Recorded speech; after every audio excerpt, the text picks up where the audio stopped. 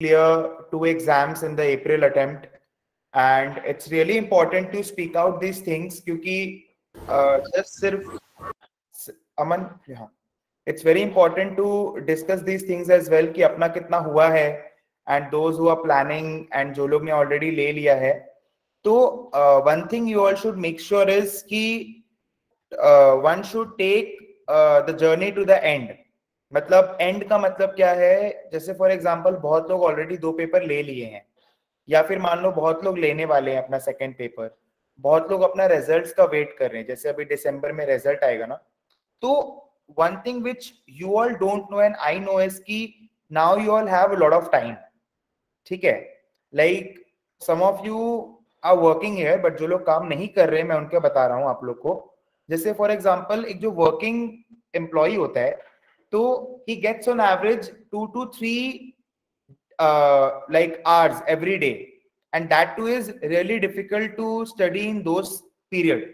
मतलब जैसे काम का पूरा दिन आप कर लेते हो एंड बहुत बार ओवर टाइम वगैरह भी करना पड़ता है तो considering you all are students now you are having lot of time माने आपका आज के दिन पे अगर देखा जाए तो एक दिन is equivalent to two to three half days okay so if you are planning for a second paper and if you have already enrolled so how to proceed is for example uh, if you have taken two major papers then on average your uh, study should be uh, approximately आप समझ के चलो six to eight hours ठीक है and when you like study for let's say suppose seven to eight days अगर आप साठ से आठ दिन छह से आठ घंटा पढ़ लेते हो एंड आपको उस समय अगर ऐसा लग रहा है कि यार मेरा तो सिलेबस आगे नहीं बढ़ रहा है किस तरीके से मेरा सिलेबस आगे बढ़ेगा?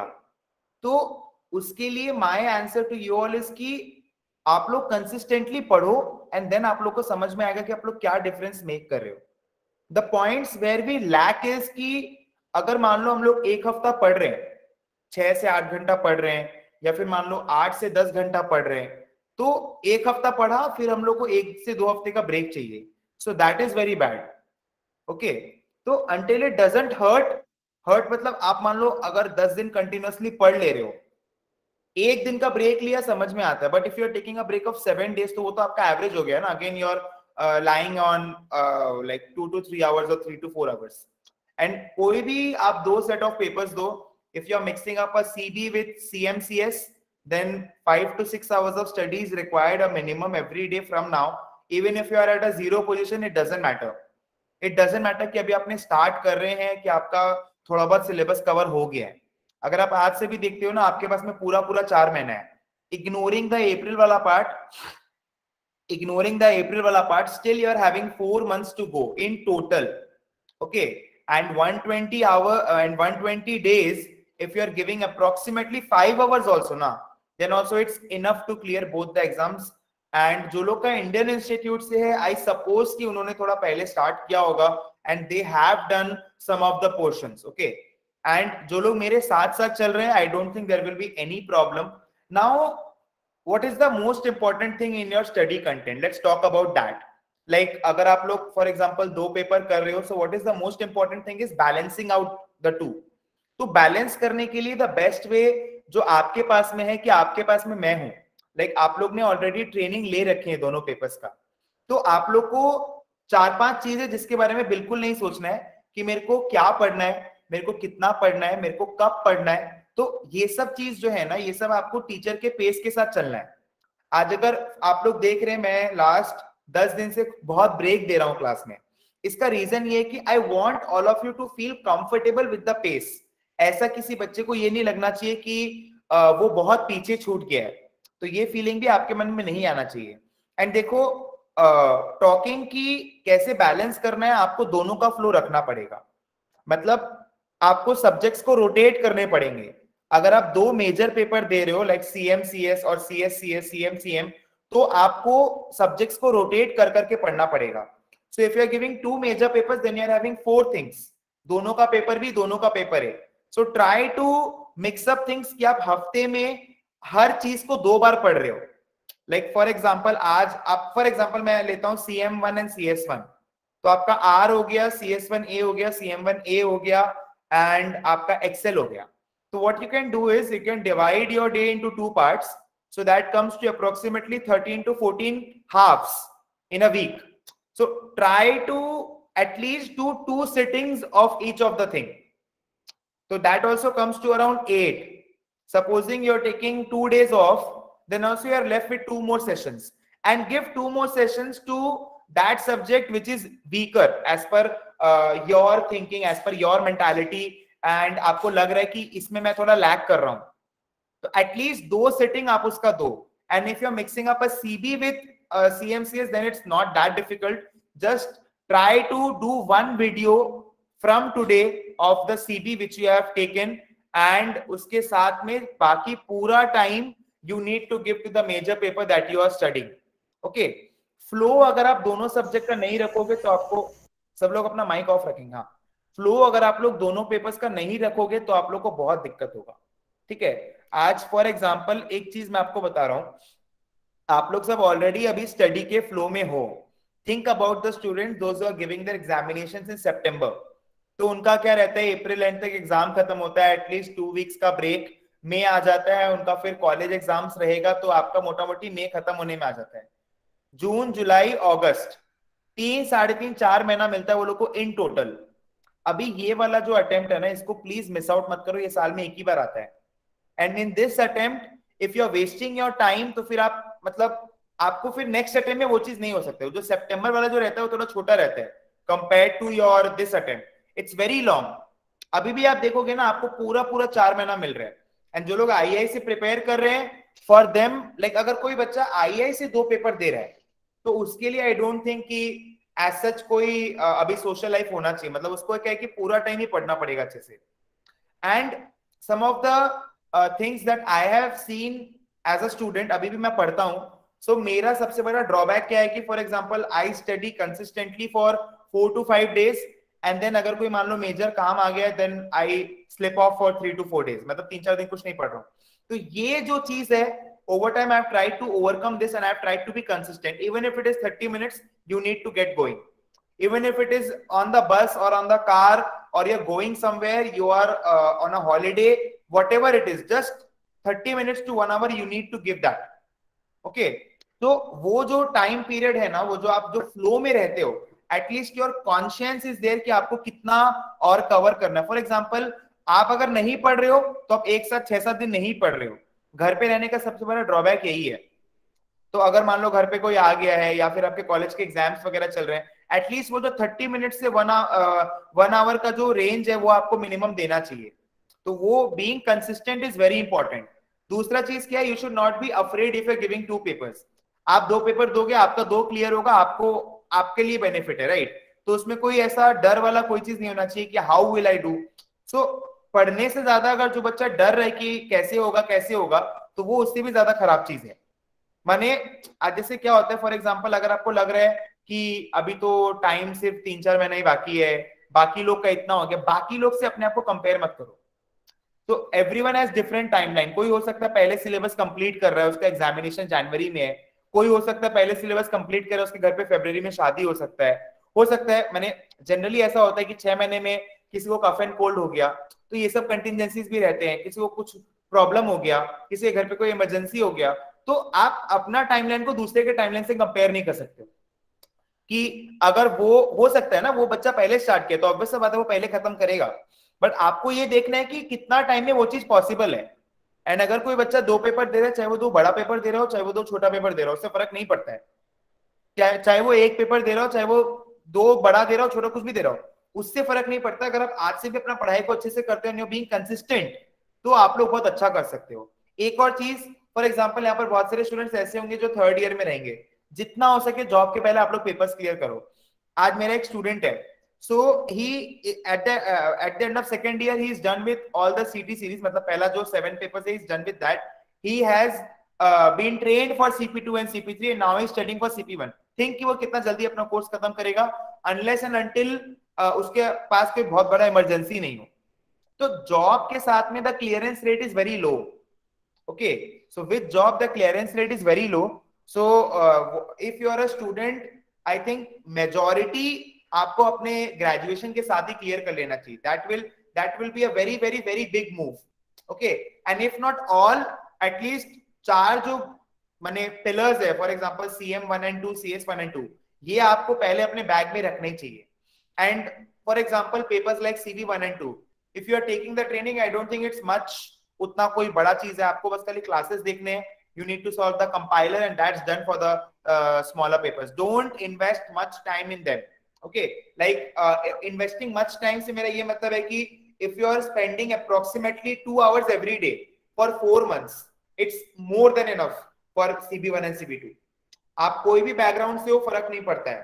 For example if from science background से नहीं हो अगर आप हर रोज कंसिस्टेंटली दो घंटा पढ़ रहे हो थोड़ा बहुत दाया बाया चलता है कोई प्रॉब्लम नहीं है। और होगा आप लोग जब दो पेपर लेते हो तो थोड़ा बहुत प्रेशर फील होता है थोड़ा बहुत गुस्सा लगेगा इरिटेशन होगा कि बहुत ज़्यादा पढ़ाई हो रहा है। It's for your benefit think कि अगर आप दो दो पेपर देने के हैबिट में आते हो so what advantages you are getting for example you can easily get through the course in less than माने दो साल का जो टाइम पीरियड है, वो आपका कम हो सकता है फेलो में। For example papers like CP two and three papers like CB one two three okay और ऐसे में भी उतना ज़्यादा डिफिकल्टी नहीं होगा compare to your CM and C S आज सीएम सी एस का डायनामिक्स आप देखो, कितना ज़्यादा डायनेमिक है इसमें। पेपर ए है पेपर बी है एमएस वर्ड का टाइपिंग है।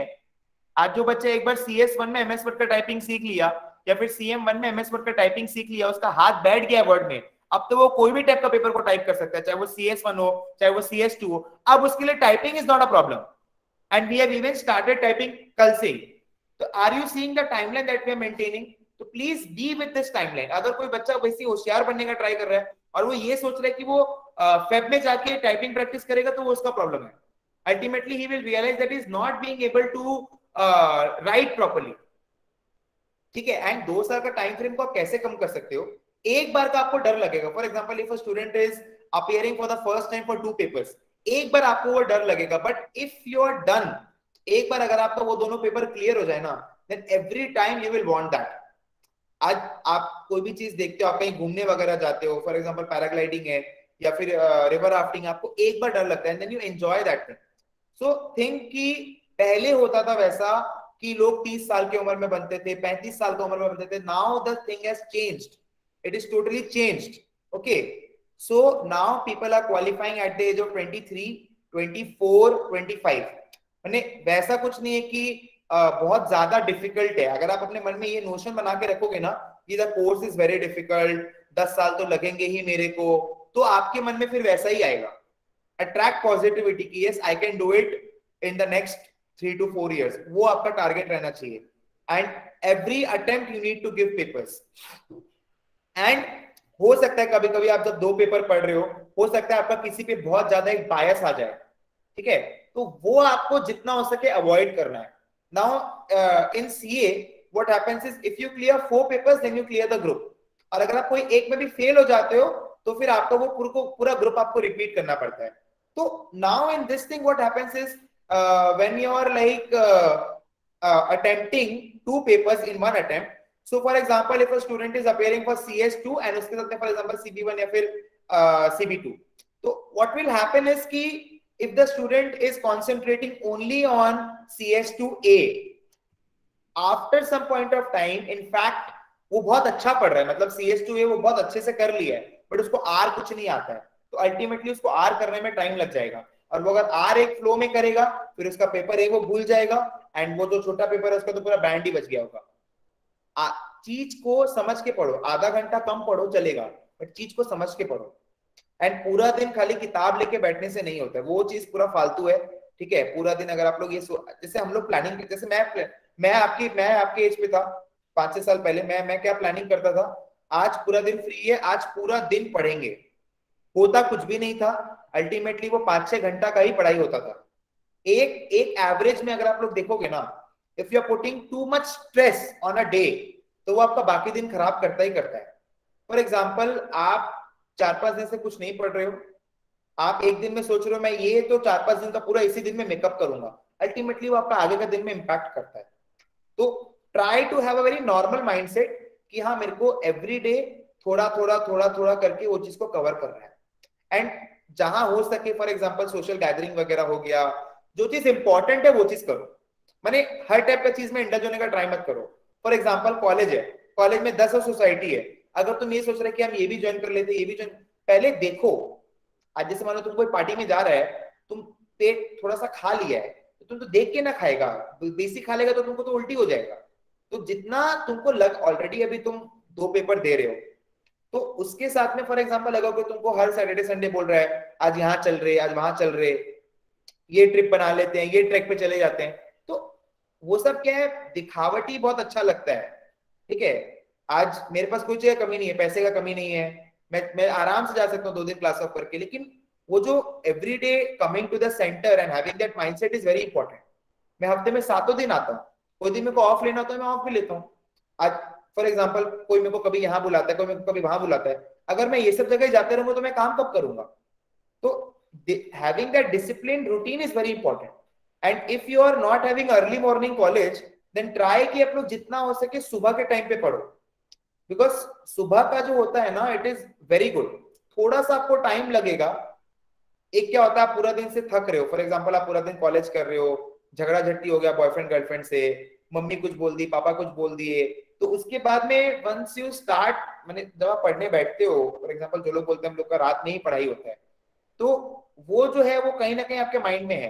तो जितना हो सके अगर सुबह एकदम अर्ली मॉर्निंग किसी का छह बजे से कॉलेज नहीं है तो सुबह अगर आप पढ़ के, देखो आपको बहुत अच्छा लगेगा। तो थोड़ा सा वो रूटीन में अगर आप लोग आओगे तो वो जो चीज़ पढ़ा हुआ रहता है ना if you are studying with full concentration तो आपके दिमाग में भी रहता है वो चीज़। एक और है अपना जो मेंटल हेल्थ है, उसका आप लोग को प्रॉपर केयर करना है। जो मैं आपको बोला कि अगर मान लो आप तीन चार दिन नहीं पढ़ रहे हो ठीक है, और आप एक दिन में बहुत ज़्यादा स्ट्रेस दे दोगे तो आप देखोगे बहुत ज़्यादा प्रेशर फील होता है। फिर आप दो तीन दिन आगे का नहीं पढ़ोगे तो ultimately what I have felt is things normalise and अगर आप नहीं कर रहे हो ना तो वो ऑटोमेटिकली नॉर्मलाइज होता ही है।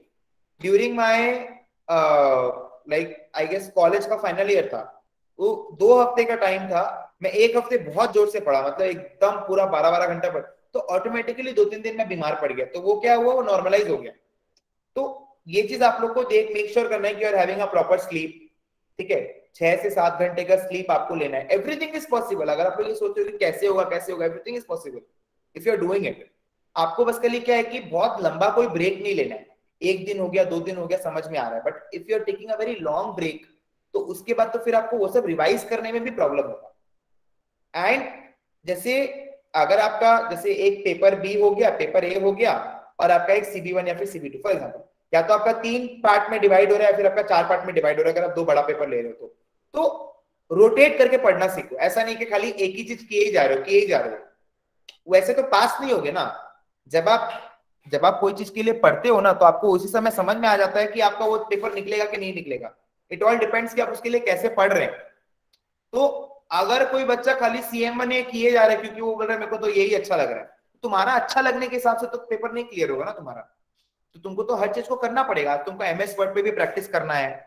आज तुमको टाइपिंग भी वो चीज़ करना पड़ेगा। तो वो तो तुम हिसाब से ना करेगा कि तुम अपने हिसाब से, वैसे नहीं होता है।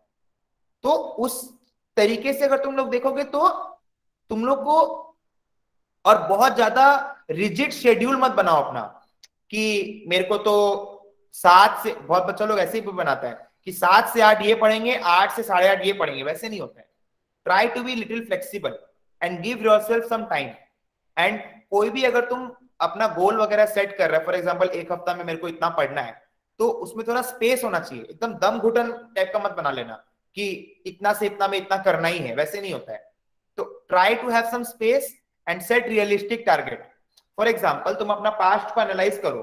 अगर तुम अपना पास्ट को एनालाइज कर रहे और तुम अपना पास्ट को एनालाइज करके ये देखा है कि तुम तीन हफ़्ता में चार चैप्टर किए बड़ा बड़ा चैप्टर है, तुम तीन हफ़्ता में चार चैप्टर किए अब तुम आने वाला एक हफ़्ता का अगर ये शेड्यूल बना रहे कि आने वाला एक हफ़्ता में हम दस चैप्टर कर लेगा तो इट इज़ नॉट पॉसिबल तुमको उसको थोड़ा थोड़ा करके करना पड़ेगा।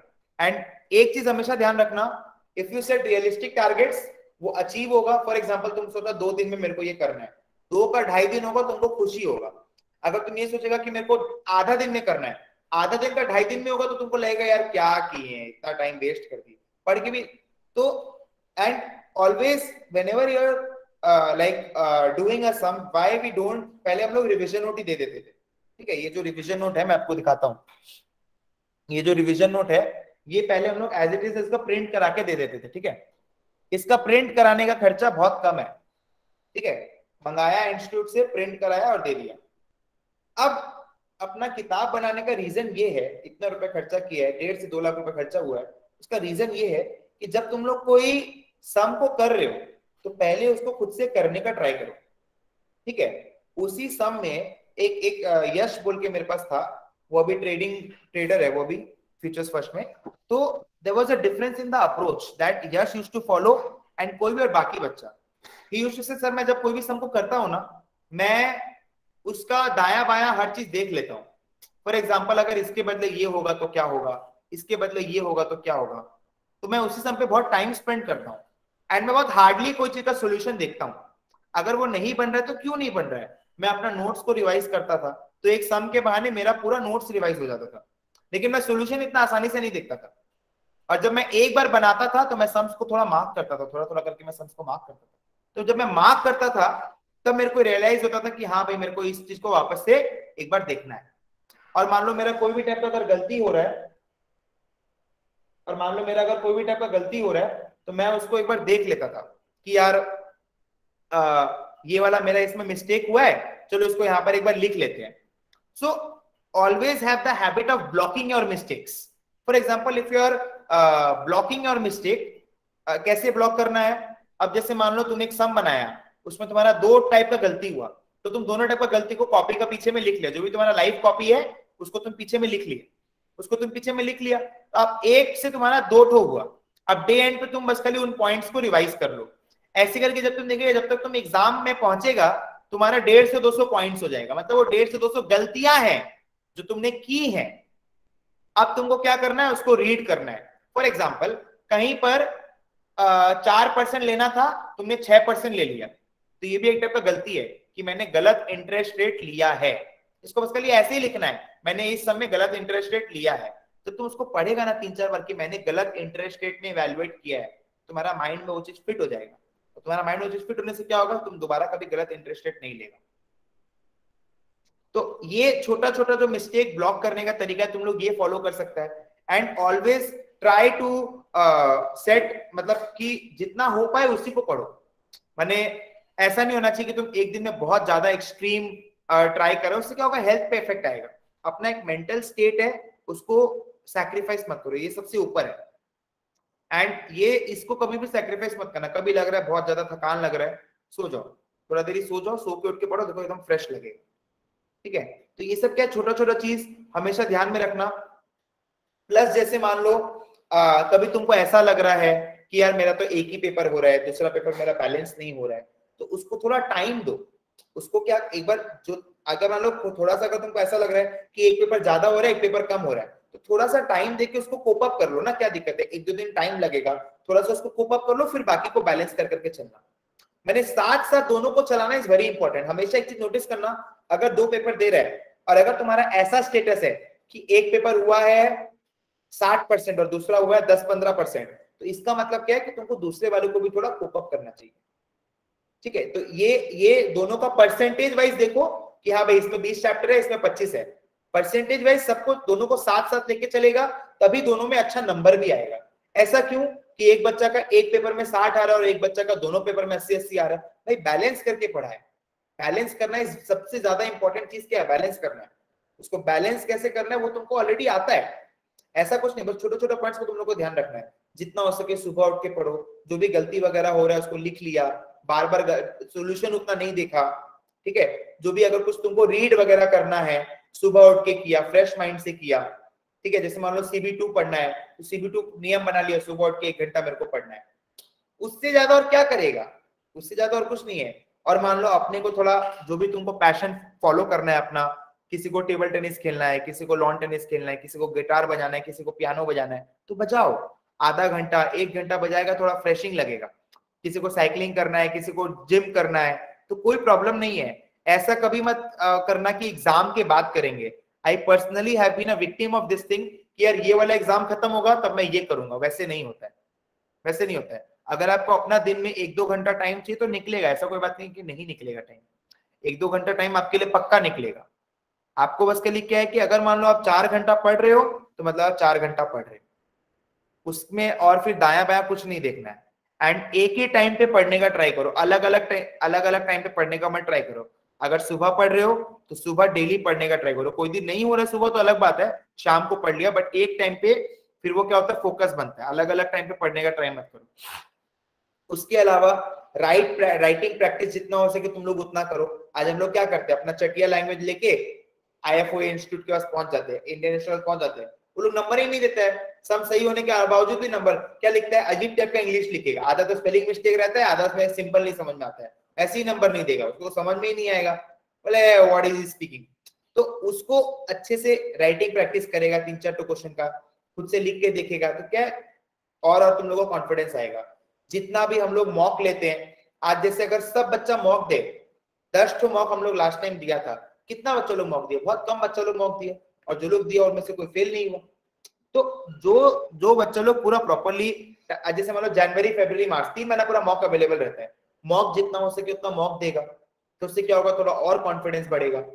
जितना सारा मॉक्स होगा, जितना मॉक देगा चेक होकर तुमको मिलते रहेगा। मॉक देगा टाइम पे। ऐसा लगेगा, यार, अभी तो मेरा कुछ भी नहीं हुआ है। हम एक महीना बाद अच्छे से पढ़ के देंगे अच्छे से कभी पढ़ाई नहीं होता है। ये चीज़ हमेशा ध्यान रखना। टाइम हमेशा कम रहेगा। टाइम पैसा हमेशा कम रहेगा। तुम लोग को लगेगा, यार एग्ज़ाम आने वाला है, मेरा तो कुछ हुआ नहीं। तुम्हारे जैसा बाकी सबका सिचुएशन है। तुम्हारे जैसा बाकी सबका सिचुएशन है। ऐसा कोई बात नहीं है कि तुम्हारे पास टाइम कम है या फिर ज़्यादा ऐसा कुछ नहीं है। और तुम आज से भी अच्छे से पढ़ लेगा तो भी तुम्हारा हो जाएगा। ऐसा कोई बात नहीं है। एक और चीज़ लर्न टू से नो अगर मान लो तुमको कोई चीज़ लग रहा है कि यार ये चीज़ मेरे को नहीं करना चाहिए, अभी मेरे पास टाइम नहीं है, सामने वाला क्या सोचेगा, ये तुम मत सोचो। वो उसको सोचने दो। आज फॉर एग्ज़ाम्पल मैं एकदम मैं एकदम ऑनेस्टली तुम लोग के सामने बोल रहा हूँ, आज बहुत सारे स्टूडेंट्स मेरे पास आते हैं रिफंड के लिए। ठीक है? फॉर एग्ज़ाम्पल मान लो छह दिन पढ़ा है, दस दिन पढ़ा है। तो आज हम लोग का भी एक सेट नॉर्म्स है। तो वंस यू आज जैसे अभी तुम लोग का उम्र थोड़ा छोटा है once you start in the corporate world okay so you will feel that you are not here to please everyone आज जैसे मान लो मेरे को बहुत सारे डेली बेसिस में रिक्वेस्ट आता है कि सर आज का क्लास का टाइमिंग ऐसे कर दीजिए। तो मेरे को तो अपना चीज़ देखना पड़ेगा ना। तो ऐसा हो सकता है कि मैं मान लो किसी को सेटिस्फाई करने के लिए मैं कर दिया। अल्टीमेटली सैक्रिफाइस कौन कर रहा है? मैं कर रहा हूँ। तो you need to always think about your growth तुम्हारा ग्रोथ क्या चीज़ से होगा, ये तुमको पता है। तो always make a habit of saying no मैंने हमेशा ऐसा नहीं होना चाहिए कि हाँ कोई तुमको कुछ भी बोला तुम कर दिया। ऐसा नहीं होता। तुम्हारा टाइम का वैल्यू तुमको अगर नहीं होगा ना तो बाकी लोग भी तुम्हारा टाइम का वैल्यू नहीं करेंगे। मैंने ऐसा नहीं होना चाहिए कि भाई, कोई भी तुमको आके कुछ भी कर कुछ भी बोल रहा है और तुम आसानी से उसका बात में आ जा रहे हो, वैसा नहीं होना चाहिए। तुमको प्रॉपरली सोचना है कि हाँ भाई, क्या ये मेरे लिए इंपॉर्टेंट है? अगर इंपॉर्टेंट है तो ठीक है, आधा एक घंटा हो गया, दो घंटा हो गया, लग जाता है। बट ऐसे तुम अड्डा मार रहे हो या फिर कुछ भी कर रहे हो पूरा टाइम वैसे वैसे नहीं होता पढ़ाई। एंड ये जो कोर्स है इतना ईजी नहीं है। और अभी तुम लोग बहुत नेसेंट स्टेज में हो। आज यहाँ पर मीटिंग में मेरे को छोड़ के थर्टी सेवन लोग हैं। थर्टी सेवन में से कितना लोग बनेगा? मुश्किल से तीन चार बनेगा। तो ये चीज़ तुमको सोचना पड़ेगा कि क्या क्या तुमको करना है, तब जाके तुम्हारा थर्टीन लेवल्स पूरा क्लियर होगा। आज भाई 2014 में मैं फ़र्स्ट ईयर में पहुँचा 2021 हो गया।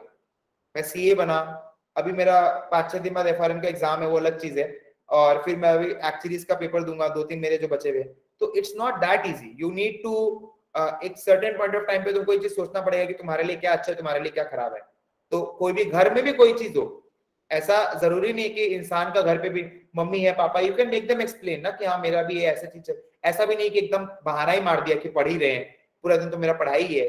चीज़ को देखो कि हाँ वो चीज़ डुएबल है कि नहीं? अगर डुएबल है तो स्विच ऑफ़ कर दो। And that is only possible when you are balancing things out very well कि कोई कोई बच्चा लोग होता है ना फॉर एग्ज़ाम्पल घर से बस निकलना है। हमको तो हम तो कोचिंग जा रहे हैं, पता नहीं कहाँ जाते फिर।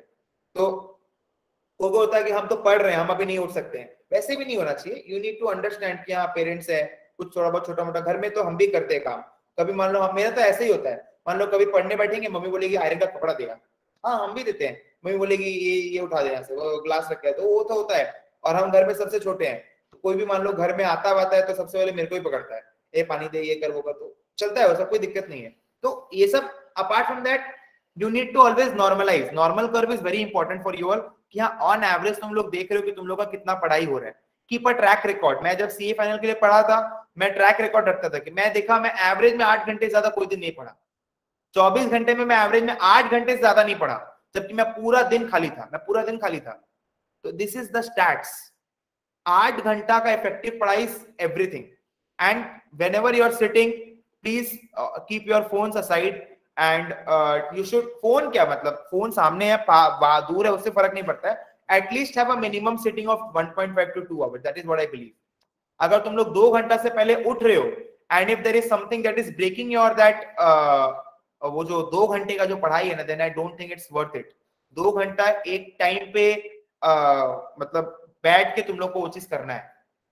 बहुत कम ऐसा होता है कि मैं अपना फ़ोन क्लास में उठाता हूँ। मतलब फॉर एग्ज़ाम्पल मैं क्लास ले रहा हूँ किसी का फ़ोन आ रहा है मैं उठा के बात कर रहा हूँ। बहुत कम ऐसा होता है। सिर्फ़ भैया का आता है तो मैं देखता हूँ वरना मैं बहुत सारे मिस कॉल्स रहते कोई प्रॉब्लम नहीं है। When I am at work I am at work you need to make sure कि हाँ भाई अभी जब मैं दो घंटा पढ़ रहा हूँ मेरे को करना है। एंड एक पेपर को एक और चीज़ लास्ट जो बोल के छोड़ूँगा एक पेपर को अगर एक अटेम्प्ट में क्लियर किया तो बहुत अच्छा बात है। नहीं तो अगर अटेम्प्ट लग गए, या तुम अगर मान लो मेहनत किया तो फिर एक ही अटेम्प्ट में हो जाएगा। मेहनत नहीं किया तो फिर अटेम्प्ट लगेंगे। ठीक है? तो उसमें क्या है ना you will come in the cycle cycle क्या होता है? फॉर एग्ज़ाम्पल अभी एग्ज़ाम दिया, पता नहीं होगा कि नहीं होगा। कोचिंग नहीं लिया अगला पेपर का, छोड़ दो। दो महीना बाद रिज़ल्ट आया फेल अब बचा सिर्फ़ तीन महीना। तुमको ऐसा लग रहा है कि तुमको थोड़ा थोड़ा आता है, लेकिन तुमको नहीं आता है। फिर तुम हौले हौले हौले हौले प्रिपरेशन स्टार्ट करेगा, हिलते हिलते देखेगा तुम्हारा एग्ज़ाम आ गया। फिर से वही स्टेप तो ये जो साइकिल है ना, इसमें बताओ। First attempt is golden attempt अगर ऐसा होता नहीं ना तो जो भी सेकेंड अटेम्प्ट देता, उसका रैंक आता। लेकिन बहुत कम ऐसा देखा जाता है कि जो सेकेंड अटेम्प्ट देता, उसका रैंक आता है। ऐसा बहुत कम केसेस में देखा जाता है।